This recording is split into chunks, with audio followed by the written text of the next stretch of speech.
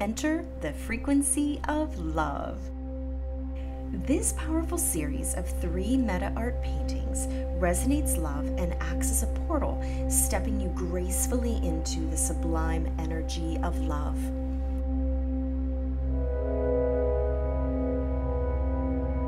Beyond the alchemy I use when channeling meta art, Ian Morris and I have co created love to activate the sense of sound with frequency minded music.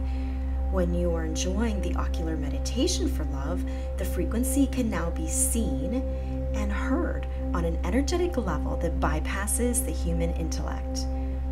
This frequency minded meditation music was created with the 528 Hz frequency, the frequency of love.